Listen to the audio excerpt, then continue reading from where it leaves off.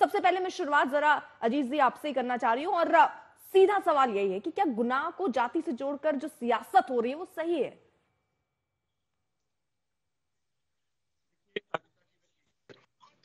देखिए अर्पिता जी सबसे जो अहम सवाल है कि मैं देख रहा हूँ कि पिछले जब से ये उत्तर प्रदेश की सरकार उत्तर प्रदेश में आई है। आवाज़ आ रही है आपको अर्पिता जी? जी जी। हाँ। आपने देखा कि इन्होंने एक रोल मॉडल बना लिए थे रोल मॉडल क्या है? फर्जी इनकाउंटर रोल मॉडल क्या है? बुलडोजर चलाना. आपने देखा कि माननीय सुप्रीम कोर्ट ने भी यहाँ तक कि राष्ट्रीय मानवाधिकार आयोग ने भी उत्तर प्रदेश सरकार को नोटिस दिया। आप देखिए कि एक लंबी फहरिस्त है। आठ हज़ार से ज़्यादा फर्जी इनकाउंटर तीन हज़ार से ज़्यादा लोग घायल हो गए अब तक। सवाल इस बात का है कि फर्जी इनकाउंटर के नाम पर कब तक आप लोगों को डराएँगे? धमकाएँगे? क्या लॉ एंड ऑर्डर खत्म हो गया? क्या आप जिस तरह से हरकत कर रहे हैं, जिस तरह से फर्जी इनकाउंटर करके देश में एक भय का माहौल बना रहे भाई कोर्ट कचेरी कहाँ है? आप देखिए कि मैं मैं नहीं कह रहा हूँ। आप देखिए तमाम सवाल खड़ा हुआ, आजमगढ़ में मुकेश राजभर, इनके भाई ने आरोप लगाया, इनका फर्जी इनकाउंटर किया गया। आपने देखा राम की पासी इसी आजमगढ़ में, राम की पासी का फर्जी इनकाउंटर किया गया। बागपत में सुमित गुर्जर का फर्जी इनकाउंटर किया गया। कहने का मकसद सिर्फ़ यह है कि एक लंबी फहरिस्त है फर्जी इनकाउंटर की। यही नहीं सिर्फ़ फर्जी इनकाउंटर की बात नहीं है। कस्टोडियल डेथ की भी बड़ी बड़ी लंबी फहरिस्त है, है। आप देखिए अजीत जी जब आप ये कहते हैं कि फर्जी एनकाउंटर चलिए मैं एक बार अगर उसको मान भी लूँ लेकिन इसमें मेरा सवाल आपसे बुनियादी यही था कि जाति से इसको जोड़कर देखने की क्या ज़रूरत थी। आपने सुना अनुज प्रताप सिंह के पिता क्या कह रहे हैं? वो कह रहे हैं अगर एक ट्वीट नहीं होता तो शायद उनका बच्चा ज़िंदा होता। देखिए अर्पिता जी क्या एक ट्वीट होने से वो इनकाउंटर हो गया? आप खुद बताएँ देश की बड़ी पत्रकार है। क्या सरकार क्या कर रही है? किसी के ट्वीट करने से क्या इनकाउंटर कर देगी? इस बात का नहीं है। सर देखिए ये भी एक कीड़ा है ना। दिमाग में कौन डाल रहा है? हो सकता है वो भी राजनीति के तहत कह रहे हो या जैसे कह रहे हो सर लेकिन अगर जाति का कीड़ा दिमाग में डाला जाएगा तो ऐसे बयान आएँगे ना सर? देखिए अपराध को अपराध के चश्मे से देखने में क्या दिक्कत है? देखिए पहले बात को समझ लिया। सवाल इस बात का कि ये सरकार के पास लॉ एंड ऑर्डर है ही नहीं। अधिकारियों से इकबाल इसका खत्म हो गया। पूरी तरह से कंट्रोल नहीं है। ये सरकार समझती है क्या इनकाउंटर कर देने से, फर्जी इनकाउंटर कर देने से, क्या लॉ एंड ऑर्डर मेंटेन कर लेंगे आप? कभी नहीं मेंटेन कर सकते आप। जिस तरह भय का माहौल उत्तर प्रदेश में पैदा किया जा रहा है। आप जाति की बात कर रही है? कौन? क्या नहीं हो रहा है? हमने आपको एक लंबी जो फेहरिस्त बताई, सुमित गुजर को ले लें आप, रामजी पासी को ले लें, मुकेश राजभर को ले लें, ये कौन लोग हैं? ये पीडीए के लोग हैं। इनके इनके ऊपर जो मतलब आप ये कह रहे हैं कि टारगेट किया जा रहा है। अभी भी आप अपने बयान पर मतलब समाजवादी पार्टी कायम है ना कि जितने जितने ये एनकाउंटर हो रहे हैं जाति को देखकर हो रहे हैं। सरकार की तरफ़ से खुद ये आंकड़ा भी सामने रख दिया गया है जिसमें मुसलमान सड़सठ ब्राह्मण बीस राजपूत उन्नीस जाट गुजर सत्रह यादव सोलह अति पिछड़ा चौबीस। कहा जाति दिख रही है सर? मैं मैं वही कह रहा हूँ। पहली बात तो ये बात मान के चले कि जात देकर इनकाउंटर हो रहा है इसमें कोई दो राय नहीं लेकिन उसके साथ साथ जो भी इनकाउंटर हो रहे हैं किसी भी जाति के किस बुनियाद पे इनकाउंटर इनका सुन लीजिए ठीक है आप ये बुनियाद आपका क्या है जो आप कह रहे हैं कि जाति के आधार पर एनकाउंटर हो रहे हैं? इसका बुनियाद मुझे समझाइए। सरकार के आंकड़े सामने है। सरकार ने पूरा आंकड़ा सामने रख दिया है। मैंने आपको बता भी दिया कि कहा किस किस जाति के कितने लोगों को किनका एनकाउंटर हुआ है। उसमें किस जाति का ज़्यादा कम लग रहा है आपको? कहा ये जातिवार के हिसाब से आपको लग रहा है? मुझे ये पहले समझाइए देखिए अर्पिता जी मुझे कंप्लीट करने देगी तो मुझे लग रहा बात ठीक समझ में आएगी। देश के सामने ठीक बात जाएगी। मैं कह रहा हूँ कि इनकाउंटर किसी भी जाति का हो वो गलत है। फर्जी इनकाउंटर गलत है। अगर किसी ने क्राइम किया है उसको सजा दीजिए उसको कस्टडी में लीजिए कस्टडी में लेकर के उसको न्याय तो ये बात पहले क्यों नहीं ले जाए। ये बात ये बात पहले क्यों नहीं कही गई? अखिलेश यादव आपकी पार्टी के बड़े नेता वो आके क्यों कहते हैं कि यादवों को टारगेट किया जा रहा है? अभी आपने भी यहाँ पीडीए की बात करी। जब आपने पीडीए की बात की मैंने लिस्ट दिखा दी तो आप कह रहे जाति के आधार पर नहीं अपराधियों को सजा होनी चाहिए। अब आपके स्वर बदल गए। क्यों? अरे नहीं मैं नहीं नहीं मैं बदला कुछ नहीं हूँ। मैंने कहा इससे पहले कस्टोडियल डेथ की भी देखें स्थिति क्या है। जौनपुर में किशन यादव की उधर मत जाइए ना। मैं पहले मैं ये समझना चाह रही हूँ कि क्या वाकई जाति के आधार पर एनकाउंटर हो रहे हैं? आप ये कैसे कह रहे हैं सर? मैं ये जानना चाह रही हूँ मत इधर उधर घुमाइए। फिर हम दूसरे मुद्दे पर अलग बात कर लेंगे। मुझे आप ये बताइए सरकार ने बाकायदा इसीलिए आंकड़े जारी कर दिए सर कि कितने मुसलमान कितने ब्राह्मण कितने राजपूत जाट गुजर यादव अति पिछड़ा कि, कितने लोगों का अभी तक एनकाउंटर हुआ किस जाति का हुआ वो सब इसीलिए सामने रख दिया गया। लेकिन आपको ये क्यों लगता है कि सिर्फ़ यादव टारगेट किए जा रहे हैं? यादवों की संख्या सोलह है केवल सर। केवल आपको यादव टारगेट में क्यों दिख रहा है? देखिए अर्पिता जी सरकार ने जो भी आंकड़े घोषित किए वो कोई स्पष्ट नहीं है।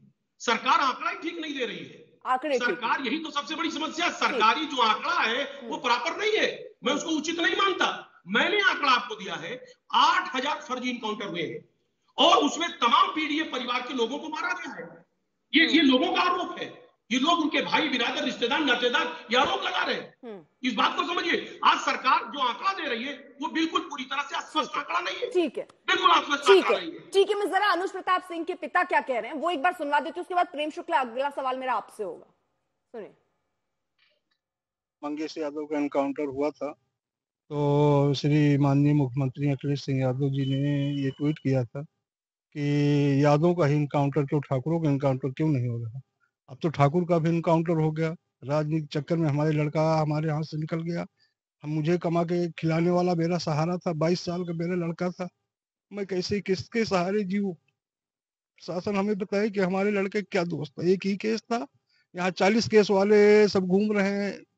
और हमारे बच्चे का सिर्फ़ एक केस था। सरकार को एक मौका तो देनी चाहिए थी उसको सुधरने के लिए। इससे ज़्यादा अब क्या कहें सर अच्छा तो आपको क्या लगता है कि राजनीति में आपके बच्चे हाँ हमारा लड़का हमारे राजनीति का शिकार हो गया दोनों लोगों की राजनीति तो हमारा बच्चा हमारे हाथ से चला गया ये नहीं पता चला कि लूट कांड में वो था कि नहीं था ऐसा कुछ नहीं को, कुछ नहीं था मुझे भी ये कोई जानकारी नहीं थी कि लूट कांड में था कि नहीं था। प्रेम शुक्ला जी राजनीति के भेंट वो चढ़ गया अपराधियों पर कार्रवाई हो रही है या सिर्फ़ ये बैलेंसिंग एक्ट है?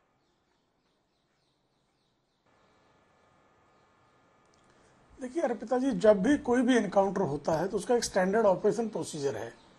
अगर कोई अपराधी पुलिस पर गोली चलाएगा तो पुलिस जवाबन कार्रवाई करती है। और हर एनकाउंटर की मजिस्ट्रेट इंक्वायरी होती है। हर एनकाउंटर को नेशनल ह्यूमन राइट्स कमीशन को रिपोर्ट किया जाता है। ये कह रहे हैं कि 8000 फर्जी एनकाउंटर हो गए। 2017 से 2024 तक एक भी मजिस्ट्रेट इंक्वायरी में, एक भी नेशनल ह्यूमन राइट्स कमीशन ने एक भी फर्जी एनकाउंटर करार दिया हो तो कृपा करके जो है आदरणीय अज़ीज़ खान जी प्रस्तुत कर दें। इन्होंने विकास दुबे के एनकाउंटर के मामले में कितना हंगामा खड़ा किया गया। सुप्रीम कोर्ट के retired justice B S Chauhan जो है, उनकी अध्यक्षता में जाँच आयोग गठित हुआ। उस जाँच आयोग ने पाया कि इसमें कोई फर्जीवाड़ा नहीं था। अब जो लोग आतंकवादियों को भी मज़हब के आधार पर निर्दोष सिद्ध करके रिहा करने का काम कर चुके हैं जो लोग अफजल गुरु को सुप्रीम कोर्ट द्वारा फांसी दिए जाने के बाद भी अब अफजल गुरु को सुप्रीम कोर्ट ने मृत्युदंड सुनाया राष्ट्रपति ने उसकी दया याचिका ठुकराया पूरा प्रक्रिया पूरी हुई उसके बाद भी अफजल गुरु के समर्थन में लोग खड़े हो जाते हैं याकूब मेमन के समर्थन में नारे लगाते हैं। याकूब मेमन के समर्थन में जब उनकी उस, उनकी शव यात्रा उसकी शव यात्रा मुंबई में निकली तो समाजवादी पार्टी के कार्यकर्ताओं ने अल्लाह अकबर तक, तक, नारा तकबीर अल्लाह अकबर का नारा लगाया। अब याकूब मेमन के लिए तो रात में जो है, सुप्रीम कोर्ट रात में भी खुल गया था। उसके बाद भी राहत नहीं मिली। तो अब जिसको पूरी व्यवस्था पर विश्वास नहीं, जिसको संविधान पर विश्वास नहीं, जिसको आतंकवादियों, अपराधियों के साथ खड़े रहने में ही गौरव की अनुभूति होती है, ये समाजवादी पार्टी थी जिसने टाटा के खिलाफ जो अभियान चलाया था। क्यों भाई? हमेशा अपराधियों के साथ, उन्नीस चौरानवे से लेकर 2024 तक अपराधियों के पक्ष में खड़े रहने का इनका इतिहास है। और अज़ीज़ खान जी एक एनकाउंटर का जिसमें फर्जी हुआ सिद्ध हुआ हो अदालत ने सिद्ध किया हो जाँच ने सिद्ध किया हो नेशनल ह्यूमन राइट कमीशन ने सिद्ध किया हो। एक प्रमाण देकर जाइएगा आपके ज़ुबान से कुछ भी किसी को फर्जी कह देने से वो फर्जी नहीं हो जाएगा क्योंकि इस देश में संवैधानिक न्याय व्यवस्था है। जो न्याय व्यवस्था का निर्णय होगा उसको लोग स्वीकारेंगे। किसी ये जो न्याय व्यवस्था कह गए आप प्रेम शुक्ला जी। वो स्वीकारा न्याय व्यवस्था पर ही तो सवाल है। इसी न्याय व्यवस्था पर तो सवाल उठ जाते हैं कि जब आपने कहा कि हाँ, हर तो चीज़ न्याय व्यवस्था के हिसाब से होगी सर तो ऐसे में एनकाउंटर पर भी सवाल इसीलिए उठते हैं कि एक तय व्यवस्था अच्छा है इसकी। हाँ हाँ सुनिए बहुत अच्छा प्रश्न जब ऐसे ही फैसले हो हाँ, जाने हैं सर तो अच्छा न्याय व्यवस्था की क्या ज़रूरत हो? मजिस्ट्रेट के नहीं नहीं फैसला नहीं हो रहा है नहीं हो रहा है फैसला। मजिस्ट्रेट की इंक्वायरी होगी होती है मजिस्ट्रेट की इंक्वायरी में। अगर कोई फर्जी इनकाउंटर होगा तो पकड़ा जाएगा। उसके पास उसके बाद अगर आपको आपत्ति हो तो आप जो है जिला अदालत जा सकते हैं। उसके बाद आप जो है हाई कोर्ट जा सकते हैं, सुप्रीम कोर्ट जा सकते हैं। कितने मामलों में सुप्रीम कोर्ट हाई कोर्ट गए हैं? अज़ीज़ खान जी बता दें। कि इनको फर्जी एनकाउंटर लगा फला एनकाउंटर ये चले गए मजिस्ट्रेट सर की इंक्वायरी पर इनको भरोसा नहीं झूठ हुआ। तो नहीं बोलते ये सर, हाई कोर्ट देखिए, चले गए। बीजेपी ने मामलों में 2018 में इकतालीस से ज़्यादा अपराधियों का है? किया। सुनिए सर ये आपका यूपी पुलिस ऑफिशियल की तरफ़ से मैं आंकड़ा रख रही हूँ। बीजेपी ने 2018 में इकतालीस से ज़्यादा अपराधियों का जी, एनकाउंटर किया जितना। एसपी यानी समाजवादी पार्टी के पूरे कार्यकाल में यानी 15 मार्च से 2012 से 19 मार्च 2017 तक ने हुए। जी। तो अर्पिता जी तो अपराधियों के साथ थे ना मुख्तार अंसारी की कब्र पर सिजदा करने वाले एनकाउंटर करेंगे। अतीक अहमद का जो है कुत्ते को सहलाने वाले एनकाउंटर करेंगे।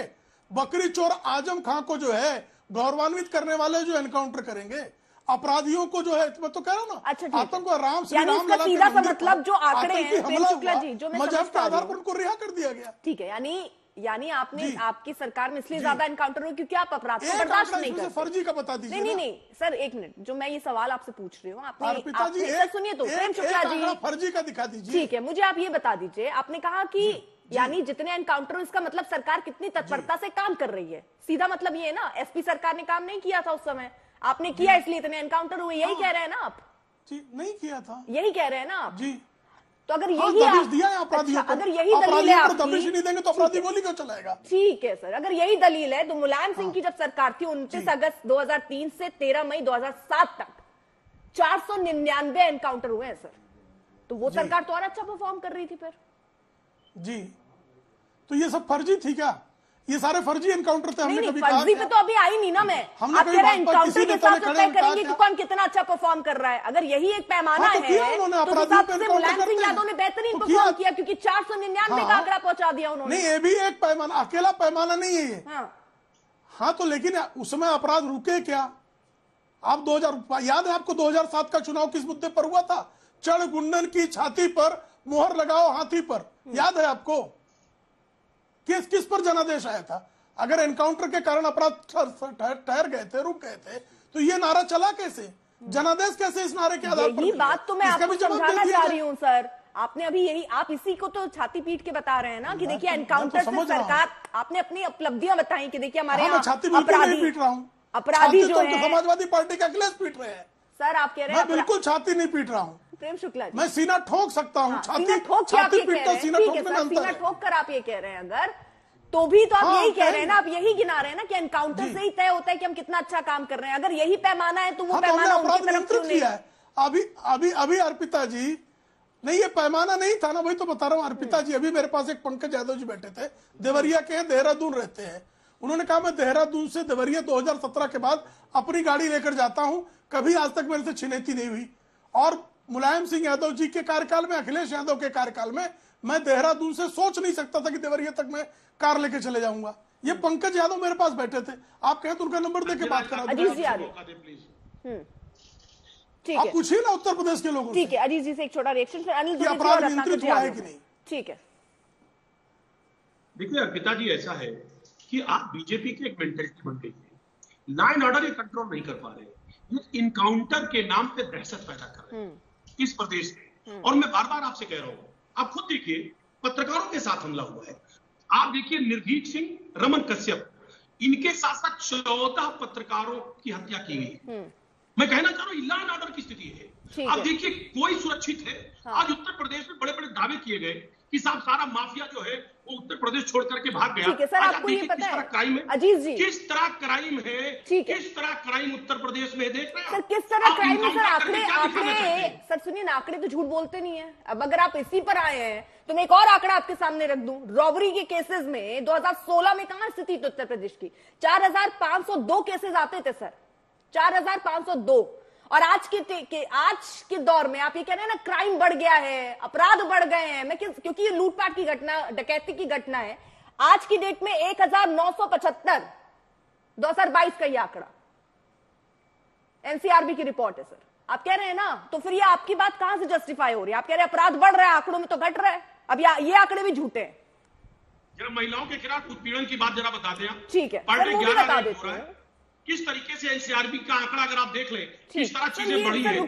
चाहे छेड़छाड़ हो महिलाओं के साथ। रेप हो अत्याचार हो हत्या हो नहीं बढ़ी है। है एनसीआरबी का आंकड़ा भी लेटेस्ट जो आया क्या कह रहा है? रेप के आंकड़े बस सुन लीजिए सर। 2016 में रेप के आंकड़े थे 4816 आज की डेट यानी 2022 में 3690 बड़े की कम हुए। बताते चलिएगा। बड़े की कम हुए सर। अब इस बात को आपको बताना है। ठीक कम हुए सर। अगर नहीं समझ पा रहे हैं आप ये आंकड़े तो मैं बता दूँ कम हुए। अब चलिए मर्डर केस में भी आ जाइए। मर्डर केस में 2016 में चार हज़ार आठ सौ नवासी केसेस थे। ठीक है सर 2022 में आते आते तीन हज़ार चार सौ इक्यानवे। बड़े की कम हुए सर मैं बताऊँ? देखिए अर्पिता जी एक बात आप जानिए। हाँ अब आप तो जनाइए आंकड़े आंकड़े की आंकड़े आंकड़े की जो जादूगरी है ना अच्छा, ये अब जादूगरी हो गई। कर नहीं सकता। मैं कह रहा हूँ ना अर्पिता जी जादूगरी आप देख रही हैं कि किस तरह इनकाउंटर आप अलीगढ़ की वो घटना देख रही है? कि ठाए ठाए कैसे कहते थे कैसे कैसे ठाए ठाए का नारा लगाया जा रहा था? आपने सुना है? आपने तो आपने तो इसको न्यूज़ बना के दिखाया था। देखिए एक बात आप जानिए कि फर्जी चाहे इनकाउंटर हो या इनकाउंटर हो किसी का भी इनकाउंटर हो इनकाउंटर गलत है। इससे आप लैंड अच्छा, तो ऑर्डर मेंटेन नहीं कर सकते। हाँ। ले लॉ एंड ऑर्डर मेंटेन होता है ये बात हिसाब से अगर कितना है? अधिकारियों के प्रताप रिजिट कितना है? आपकी बात अधिकारी सुन कितना रहा है? ठीक। सबसे अहम बात ठीक है। अज़ीज़ जी। अब चलिए क्योंकि कई बार आंकड़े इनके होते हैं तो झूठे हो जाते हैं। अगर आपके आंकड़े होंगे तो पता नहीं सही होंगे कि नहीं होंगे। योगी आदित्यनाथ 19 मार्च से 2017 से अब तक 207 मारे गए हैं अपराधी। और मुलायम सिंह की जब सरकार थी 29 अगस्त 2003 से 13 मई 2007 तक तो 499 था आंकड़ा सर। 499 अब इन दोनों में से बड़ा छोटा भी बता दूँ क्या सर मैं? कौन ज़्यादा कौन कम ये भी बता दूँ। जो आंकड़ा जो आंकड़ा लेकर आप बैठी है आप प्रैक्टिकली देखिए ना कि उत्तर प्रदेश की स्थिति क्या है। किस तरह किस तरह लोगों में ये भय है कि लॉ एंड ऑर्डर खत्म है। हाँ। आज यहाँ न्याय व्यवस्था नहीं है न्याय प्रणाली नहीं है। मनीष गुप्ता यही गोरखपुर है। गोरखपुर में यानी माहौल बनाना ज़रूरी है। किस तरह अज़ीज़ हत्या जी। माहौल बनाना ज़रूरी है कि मुलायम सिंह के टाइम पर इतना अगर एनकाउंटर हुआ तो माहौल नहीं बनाया गया। आप कम एनकाउंटर में भी माहौल बना ले जा रहे हैं तो माहौल खराब है। किस तरह हत्या की गई? सिंपल माहौल की बात है ना सर। माहौल बनाने की बात। आप माहौल बना ले गए। चार सौ निन्यानवे का आंकड़ा छोटा लगने लगा क्योंकि माहौल अभी बना है। पिताजी। हाँ। सच्चाई को बयान किया जा रहा है। हम्म। आज उत्तर प्रदेश की जनता में भय है। उसको पता है जनता को ये बात को एहसास हो गया है।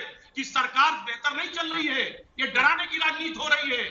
आज आप देखिए किस तरह एक आम जनता में डर है कि कब उसका इनकाउंटर हो जाए। सर वो आम जनता कौन है? यही तो समझना है। वही आम जनता कौन है जिसकी हर पैरवी यहाँ राजनीतिक दल तो आके बैठ के कर जाता है? ये आम जनता कौन है? हूँ। ये आम जनता कौन है? यही समझना चाहती हूँ।